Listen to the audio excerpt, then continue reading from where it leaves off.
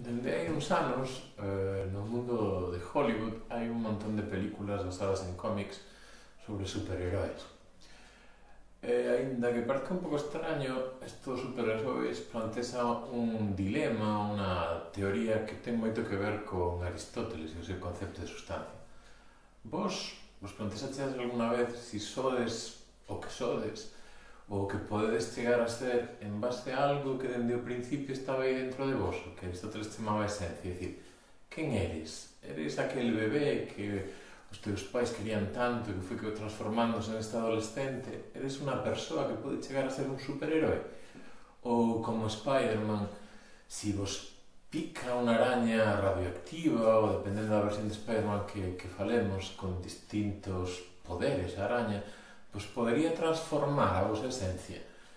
Vamos a ver un pouco, eh, para centrarnos o inicio da película de Spider-Man de 2002, no momento no que o herói, o que vai ser herói, lle morde unha araña. Oye, ¿puedo tomarte una fotografía? Eh, Necesito una con un estudiante. Claro, sí. Gracias. ¿Dónde me pongo?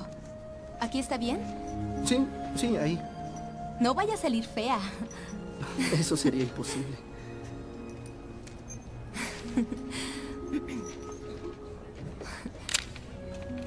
Ah, perfecto.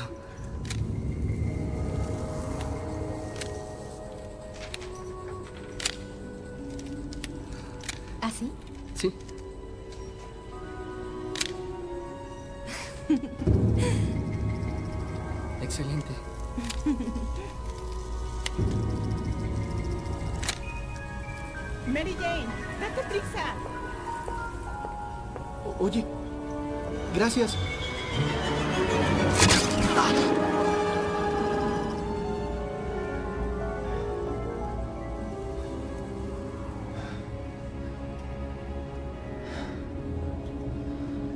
Parker, no te atrases. Bueno, en todas as versións de Spider-Man eh, o argumento é basicamente o mesmo. Parker é un, é un adolescente que é o protagonista leva unha vida complicada, posto que é orfo e o criaron os seus tíos.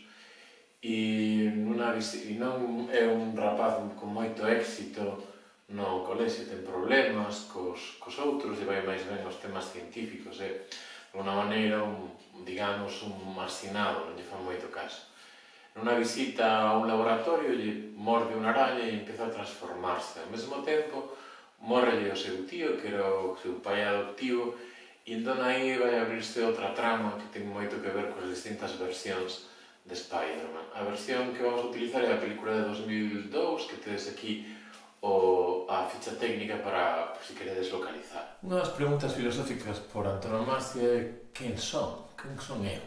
Que o que son esa persoa que coñezo dende que exista? Spider-Man é un adolescente, un neno, é unha araña, é Peter Parker ou é un heroe que pola mezcla entre a esencia o que era como ser humano é o que recibe da araña se transforma nun ser con superpoderes. Quen é? Quen sodes vos? Isto conecta directamente coa filosofía aristotélica. A filosofía de Aristóteles, como ben sabedes, comeza cunha crítica ao mundo das ideas de Platón, o que van a, o que van a decir toda a filosofía aristotélica é que o único mundo que existe é este, esta realidade onde estamos nós como seres individuais. Cada ser humano é o que non hai dous mundos no sentido platónico, sino que hai rexións do mundo que el manda, chama mundo sublunar e mundo supra eh, luar con leis físicas distintas, como ves, vedes, un modelo do universo que prevalece ata a Idade Media. Para, para Aristóteles só existen os seres individuais, individuais, el chama sustancias, seres con unha esencia, algo que os fai ser totalmente diferentes a outros seres individuais. Aristóteles diferencia entre sustancia primeira, que sería o feito de ser un individuo, por exemplo, Sócrates, e a sustancia segunda, que sería como o producto de que nós, como seres humanos, temos a capacidade de abstracción, podemos extraer características comuns a todos os individuos concretos. E poderíamos decir que Sócrates, o individuo, a sustancia primeira, pertence ou participa da esencia ou sustancia universal que é o de ser un ser humano. Pero para Aristóteles, cada un de nós somos un ser individual, unha sustancia. Peter, ¿estás bien? Eh, estoy bien. Pete, oye, estás cambiando. A mí me pasó exactamente lo mismo a tu edad. No, exactamente no.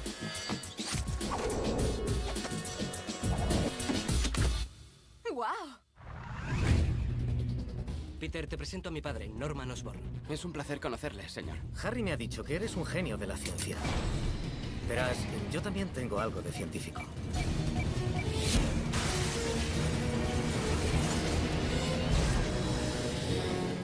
Para comprender o que somos, Aristóteles monta toda unha teoría que estaría na súa física e nos seus libros fundamentais e di que cada individuo, cada sustancia, podemos distinguir dentro del, nos para comprender o que os individuos son, podemos distinguir dentro del o que sería a súa esencia, dicir, aquilo que fai que unha cousa cesa, por exemplo, as características que quizáis hoxe en día poderíamos atribuir ao noso ADN, normalmente atribuible ou explicable pola biología, e todos aqueles elementos Aristóteles chama accidentes, serían todos os elementos que forman parte de min pero que non son esenciais a min, que non me definen, que non forman parte da miña esencia.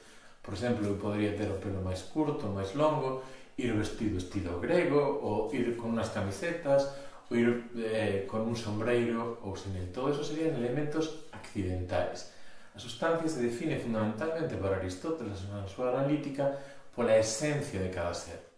Pero ao mesmo tempo, esa sustancia, esa usía eh, aristotélica ten, Aristóteles di, dous componentes. Un componente do que cada ser é en acto e un componente do que Aristóteles chama en potencia. É dicir, eu neste momento son algo que podedes ver, algo que podedes apreciar que está relacionado coa miña esencia.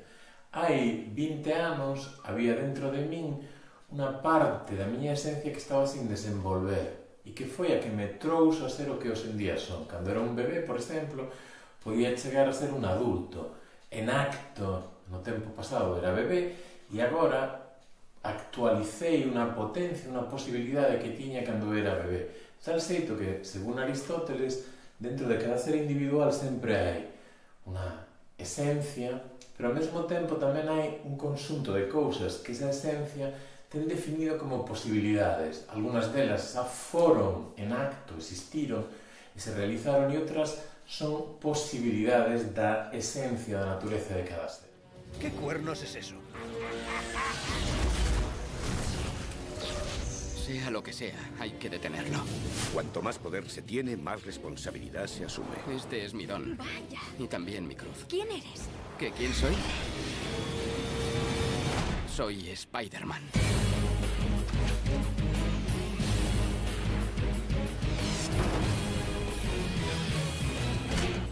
¿Puedo darte las gracias esta vez?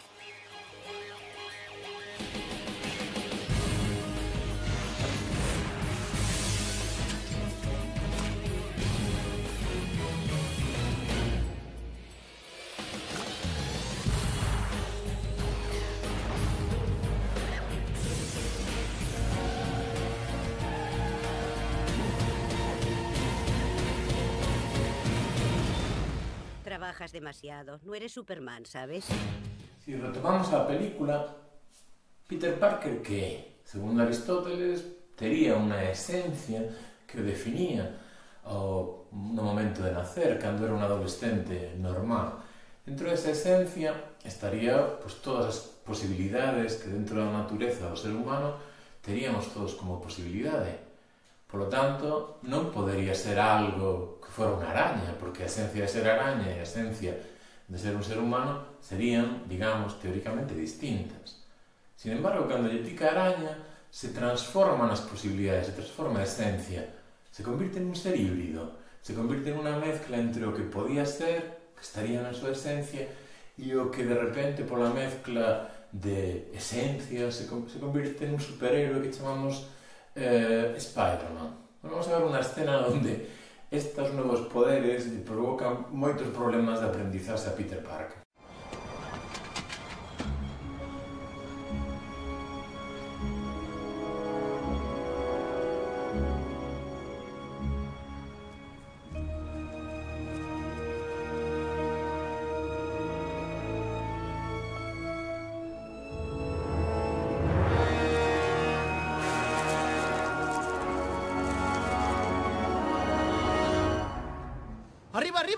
Lejos! ¡Shazam! ¡Anda!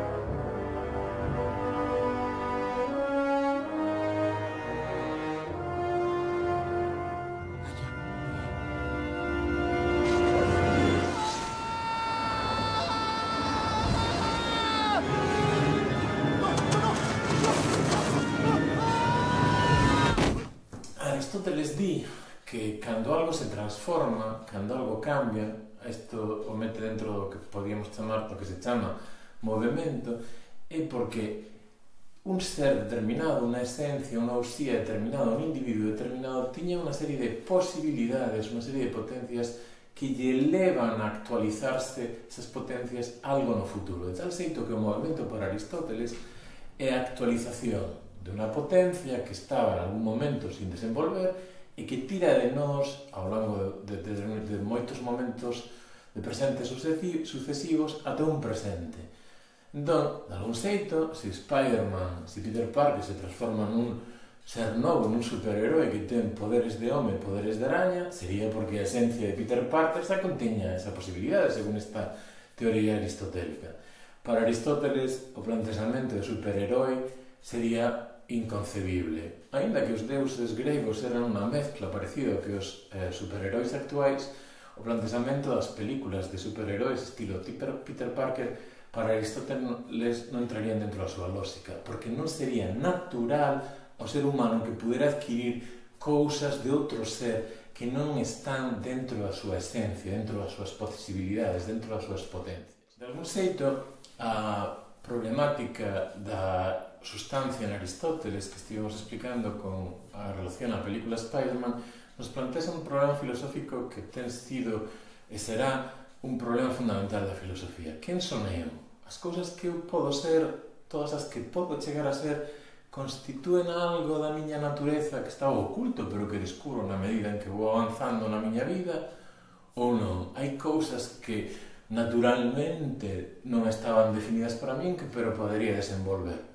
A filosofía do sentido común, que é a que máis ou menos se podría atribuir a filosofía aristotélica, moi racionalizada, moi completa, nos diría que o que por natureza alguén é non pode cambiarse. Esta foi a argumentación clásica, por exemplo, toda relacionada con machismo. Se relacionaba ou se atribuía a natureza feminina unhas cousas que podían facer ou non. Unha das claves da filosofía aristotélica sería que quizáis o meu coñecemento da natureza que chamábamos ao principio sustancias segundas, non está suficientemente fundado na realidade. Entón, o que eu creo que é a esencia de algo pode ser que o meu coñecemento desa esencia sea incompleto. Pode que o coñecemento que temos das sustancias segundas das que falaba Aristóteles non cheguen a saber ou non cheguen, non estén completas para comprender o que é a realidade. Bueno, no caso do coronavirus, co descoñecemento e incertidumbre que temos hoxe en día, Está clarísimo que o noso coñecemento da realidade nunca é completo, inda que moitas veces pensamos que sí.